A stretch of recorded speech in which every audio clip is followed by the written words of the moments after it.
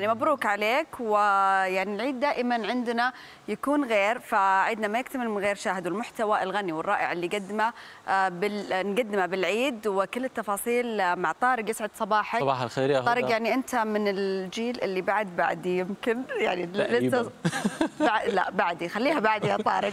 ف... فأنتم ذكرياتكم غير. وش أكثر شيء إنه تتذكره في العيد؟ يعني أنت لسه صغير مزبوط. فالعيد عندكم مختلف. كان مختلف حتى الأجواء بسوريا مختلفة بالعيد. يعني بتذكر أنا وصغير كنا الصبح نوعى كثير بكير نزور المقابر بعدين نزور بعض. آه،. عادات غريبة شوي. بس بالنسبة للمشاهدات يعني مدرسة المشاغبين كلها تربينا عليها سواء الجيل اللي بعده. أنت الغريب يا طارق. خلينا نشوف إيش عندنا في شاهد. كمان شاهد كثير مسرحيات كثير أفلام صحيح. وكثير كمان مسلسلات وحلو أجواء العيد لما نتجمع ونشوف. بعض بالمية. فأعطينا وش خلينا الجديد. نبلش مع بعض. نبتدي مع الفيلم الكوميدي تماسيح النيل. هالفيلم من بطولة النجم خالد الصاوي وسوزان نجم الدين. بتدور أحداث الفيلم بإطار رحلة على سفينة بالنيل. حيث بتحدث عملية نصب غير متنو... غير متوقع عفوا لأحد الركاب. وبتتوالى بعد الأحداث بإطار كوميدي للكشف عن الحقيقة. فخلينا نحضر هالبرومو مع بعض لناخذ فكرة أكثر أنا عايزكم تعتبروا المركب دي عالم جديد هتدخلوه عالم ما فيهوش مشاكل ولا هموم. الحب الحقيقي بقى نادر جدا في الأيام دي. بس تعرفي إيه هو اللي نادر فعلا؟ إيه؟ عايز أقول لك اني بحبك وما أقدرش استغنى عنك. وانت عارف ان انت أكتر حد حبيته في حياتي. تعرفي ان أحلى حاجة فيكي ضحكتك ان الواحد يلاقي الجمال والعقل في انسانه واحدة انت اتجننتي شغالة مع هشام اللولي وخايفة من أمير. هو حضرتك القبطان؟ لا أمه. بس انت مش مهتمية بنفسك يا حاجة. فيلم بيحكي على النيل كثير حلو وكوميدي يعني أجواءه رائعة حلو. فشو رأيك بالأفلام الكوميدية بشكل عام؟ أنا كثير أحب الأفلام الكوميدية صراحة ويعني أدخل معها جوها mood ها ال- صح. يعني خاصة في جمعات العائلية يكون حلو إنه نشوف شيء مية بالمية وبحس بالعيد كمان الكوميدي هو أكثر شيء ممكن يربح وخصوصي مع المسرحيات فبنتابع مع مسرحية محظوظ ومبروك بتعرض بعرض أول على شاهد VIP من بطولة النجم طارق العلي وشاهد سلمان ونخبة من نجوم المملكة بتدور أحداث المسرحية بإطار كوميدي طريف حول رجل بيعثر على مصباح سحري ولما بيلمسه بيظهر له الخادم لحقق له كل أمانيه وأحلامه. وبتبتدي بتبتدي الرحلة بينهم وبنشوف مفارقات عديدة في الموضوعات المطروحة. خلونا نتابع مع بعض.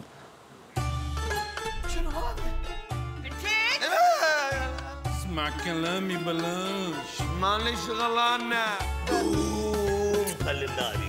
في حريم هني. يعني جواري أنا أموت في جواري يا بابا احطه حطيته؟ إي حطيته. ليش تحكه بص يا حبيبي. وسخ عينك وحدة. والله يعني- يا هدى يا ريت في هيك مصباح سحري. يعني يا ليت والله يا طارق. وحلوة يعني ال- الم- المسرحيات كمان الكوميدية خاصة لو حضرناها في المسرح. ولكن صح. الحين شاهد طبعا يعني آه، صح مكفي وموفي. مكفي وموفي أكيد. لو طلع لك مصباح السحري شو بتتمني؟ يا الله بيتعب والله. عندي أمنيات مرة كبيرة يا طارق. بعدين بنحكي فيهم. يبغى لها هذه حلقة كاملة أمنياتي. وكمان من عروض شاهد الأولى فيلم حامل اللقب هالفيلم من بطولة دينا الشربيني وهشام ماجد. بيحكي عن قصة يحيى واللي هو لاعب كرة قدم وزوجته مسك اللي بتعمل كطبيبة أمراض نسائية بيسعى الزوجين لسنين عديدة لإنجاب طفل ولكن للأسف ما بينجحوا بهالشيء لحد ما يصير معهم موقف جدا غير طبيعي وبيتعرضوا لكثير من المواقف الكوميدية. كنت عايز أعرف بقى بقالكم كام سنة متجوزين ثلاث سنين وسبع شهور وثلاث أسابيع وثلاث أيام. وساعتين. السنة دي انت لاعب 16 ماتش في الدوري. ما جبتش ولا جول. واتفقت على الحكم الرابع. بيعمل إيه أصلا الحكم الرابع عشان تتخانق معاه أنا معايا مدير أعمال فاشل. أنا نفسي أبقى أم. زي أي ست في الدنيا نفسها تبقى أم. ده أنا قطعت الخلف. ده أنا متجوز بننتر عمال ينزل في عيال. نسيت لما كنت عايز تتقدم لي قلت لك تعالى قابل بابي في نادي السيارات. وكنت فاكره معرض عربيات. أيوه ما اللي سماه نادي السيارات ده بيهزر برضه. ما هو انت لو كنت اعتذرت من الأول ما كانش كل ده حصل. وأنا كنت اعرف يعني ان الموضوع هيكبر كده وهقعد اتشتم في كل حتة. إلهي الدوق من الوجع اللي بنشوفه واللي فينا يجي فيك يا رب. أنت بتعمل إيه قلت لك أنا مستعدة. كثير صراحة وحتى ال- يعني الممثلين الموجودين كثير في خفة دم صح. وحلوة ال ال يعني الأجواء الكوميدية في العيد 100%. والحين كمان حتى في السينما يعني في أشياء مرة كثيرة صح، كوميدية صح، كثير. فإن شاء الله بنتابع يعني أنا هذا الفيلم لازم أشوفه كثير حلو كثير مهضوم وشوفي لي هالفيلم الجاي رائع Yeah. أخيرا مع العرض الأول لفيلم سلام بالشوكولا أو Peace by Chocolate وهو آخر أعمال المخرج السوري الراحل حاتم علي اللي شارك بهالفيلم كممثل إلى جانب النجمة يارا صبري. وعده وجوه عالمية. هالفيلم المأخوذ عن قصة واقعية بيحكي عن رحلة لجوء عائلة سورية إلى كندا. وبتحقق بعد فترة وجيزة من رحيلها نجاح كبير بمجال صناعة الشوكولا. بعد ما استقرت بمدينة نائية وبعيدة عن المدن الكبرى. فخلينا نروح مع بعض ونتابع مقتطفات عن البرومو لهالعمل. He was the best chocolatier in Syria. These chocolates are amazing. Oh my God, they're so good. Tell Papa I have an idea. This will not just bring chocolate to the people of Antigonish. It will also inspire more refugees.